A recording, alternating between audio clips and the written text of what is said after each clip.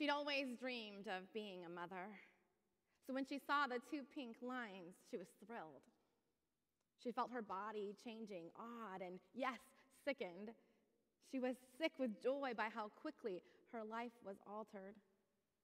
She wondered, how long would it take to show? After 12 weeks, it felt like she could finally tell the world her good news. He bought her a onesie to celebrate, green for good luck. They were excited for the 20 week anatomy scan. They'd finally learned the gender of their wee one. The silence of the technician gave way to fear. The baby had developed without life sustaining organs. And then there was Teresa, who suddenly began bleeding. The hemorrhaging wouldn't stop, neither would her tears. She was inconsolable. Her partner held her hand, face white with fear. Her mom and dad rushed to the hospital. They had to decide what to do. It was a choice no one should have to make, but it was a necessary one. They chose her. Myra. Myra had her innocence ripped from her by someone that she should have been able to trust, someone who should have cared for her, but instead violated her. And her little body just wasn't mature enough to bear the consequences of that betrayal. Kim didn't want to be a mother. She was tired of society telling her what she should do and why she hadn't done it by now. She didn't fit the mold, but they sure wanted her to, to force her to be someone she was not. And then there was Karen, who would have wanted to be a mother, but felt like everything was against her. She'd have to walk away from the dream of the career she was working towards. Without resources, her family couldn't help her. She was completely alone. And she knew it. She felt so helpless. She felt utterly helpless. She wished it was all different, but she couldn't control the world. She could only control herself. And when Noelle heard the word ectopic, she clutched her midsection and let out a guttural cry. It wasn't true. It couldn't be true. The doctor said there was nothing else they could do. She could die. His words echoed in her ears. She could die. And it felt like she already had. Look, this wasn't the Mother's Day sermon I was anticipating preaching. This definitely isn't the Mother's Day sermon that I want to be preaching. But sometimes we have these come to Jesus moments in our lives, don't we? where we're asked to be faithful, faithful even when we're not comfortable. I'd much prefer to give you all flowers and send you off to brunch with smiles on your faces.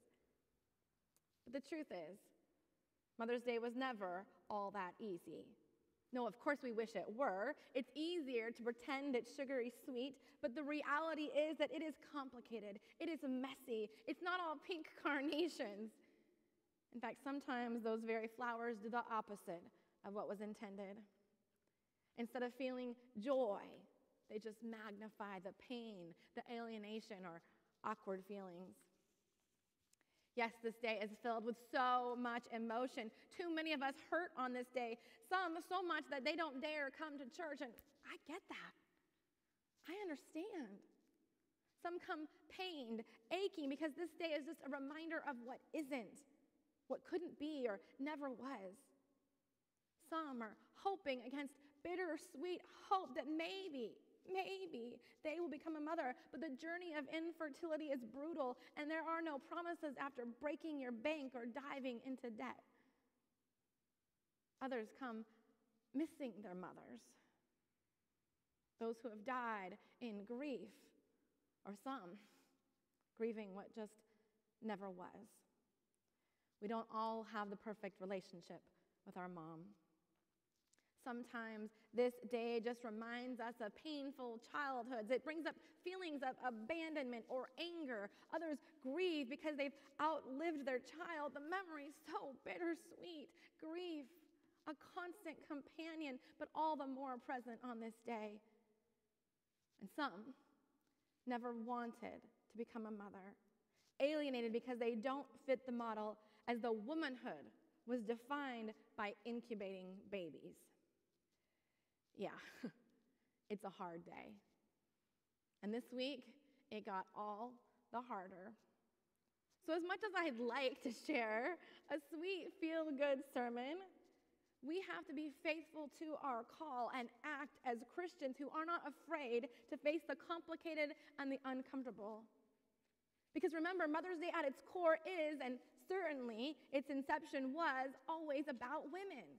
Was about the power of women, women who at the time could not vote, women who were expected to stay home and do their jobs of keeping house and raising kids, but women who, despite the often disempowering situation that society put them in, had power.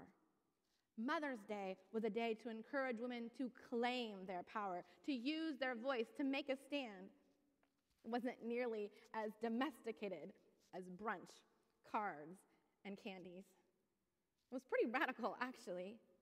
Let us not forget that Julia Ward Howe, the American abolitionist, the feminist, the poet, and the author of the Battle Hymn of the Republic, proclaimed Mother's Day in 1870 as a call to women to use the power that was unique to them, to use their voices to call for disarmament, a call for peace. It was a rallying cry to women to use their power to transform the world. Celebrating Mother's Day, then, is celebrating women's agency and women's power. In a time where they didn't have that power legally bestowed upon them, but claimed their power anyway. These women use their identities, yes, as mothers, and their uniquely female perspectives to effect change.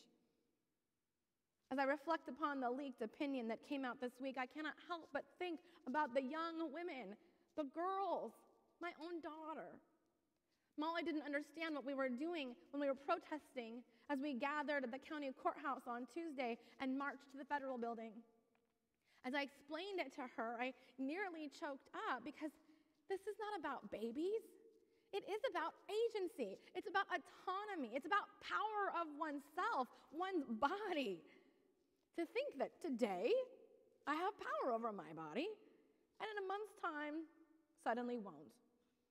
As a mother, I had a very difficult time explaining to my daughter that the government wants to take rights away from women. At its core, that is what this is about. As I've heard time and time again, if this were really about babies, we'd have excellent free maternal health care, as well as health care for all babies, regardless of documentation status. You wouldn't be charged a cent to give birth, no matter how complicated your delivery or how long you needed to stay in the hospital. If it was about babies, you'd have months and months of parental leave for everyone.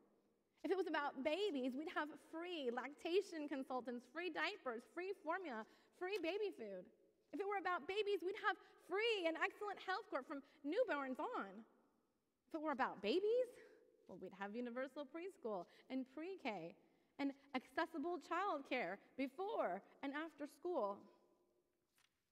But this isn't about babies. This is about women. Women having power over their lives, women having agency to choose what happens to their bodies. Even as I began the sermon with stories of women, their reasons aren't actually important because it doesn't matter what we think about their story, it's their story. And yet we cannot forget that every woman has her own story. So, just in telling them, we give faces to these women. We seek to see them because women are not invisible. Our story is too shameful to be told. All week, I've been thinking about Jesus, who saw the women that society sought to make invisible, or worse, who society sought to shame. The Jesus I know would not have thrown the stone. He would not have erased them. No, instead, he saw them. He included them. He gave them a voice and a seat at the table. Oh, Christianity would try to erase that, try to put the shame back on women's shoulders. But let's be clear, that was not Jesus. I suppose this is what makes it all so infuriating for me to see that our tradition is used to control and condemn. I don't think that Jesus sought to control women. I think he came to empower all of us. Any who have been on the outskirts of society, who have been subjected by the powerful and the privileged. And yet, the mere fact that this is driven by Christians who think that their version of Christianity is the purest and thus deservedly their version of Christianity should rule the land just flies in the face of our beloved American belief of separation of church and state. Look, if you think it's a sin to have an abortion, then don't have an abortion. What you believe and how you enact it in your own life, on your own body, is your personal belief. It's your own personal choice. But you don't have the right to impose that choice upon someone else. Personally choosing not to have an abortion is religious freedom. Making that choice for someone else on the basis of one's own religious principles is religious oppression. This is why the United Church of Christ has supported reproductive justice since the 1960s. And it is why we are not standing by idly now. We will not be oppressed by those who claim to share our faith, but who seek to oppress us with their religion in a land where we have been told that we are free. What's next? Gay marriage? We shudder to think how far this could go, knowing that already my trans siblings are being persecuted, women's autonomy threatened, and we can only imagine what horrors are in store. No, we cannot politely continue on with business as usual.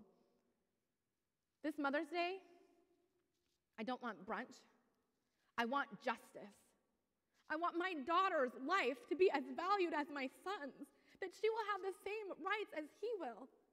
This mother's prayer is that my daughter might experience less sexism in her life than I've had to endure in mine, than her grandmothers have faced, that their fight for justice will not be undone, that neither child will face harassment, and that each can make their own choices for their lives and for themselves. And not only do I want this for my children, I want this for everyone. Because let's face it, those who will be most disaffected, most harmed, most egregiously disempowered will be women of color. It will be those who live in poverty or do not have the privilege or means to easily cross borders. Yes, it always comes down to power and privilege. So let's get back to basics, to what this day is really all about. Women our power, our call. Hear her calling to us from centuries past to light the fire among us yet again. Arise then. Women of this day, arise. All women who have hearts, whether your baptism be that of water or of tears, say firmly, we will not have great questions decided by irrelevant agencies. Look, we've got a lot of work to do. This will not be easy. We Californians know that we will not be the hardest hit, but make no mistake, every woman is under attack. Anyone who believes in equality is under attack. Anyone who believes in religious freedom is under attack.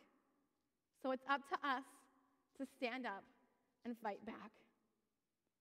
Let us find our courage and use our voices and know that God is with us when we are afraid emboldening us, empowering us, calling out to us that we can speak out, we can fight, but we can also comfort, help, and heal. Join me on Saturday, this coming Saturday, 10 a.m. in Santa Ana, to make our presence known. But more importantly, let's join together to be church, to be sanctuary, because if this goes the way it looks like it's heading, there will soon be those who feel helpless and hopeless. When they turn to look for help, we want to be there. Yes. We are called to be sanctuary.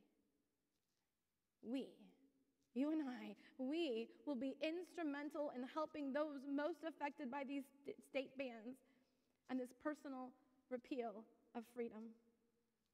And so, arise then. Arise.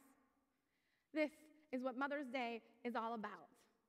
Rise up, sisters. Rise up. Amen.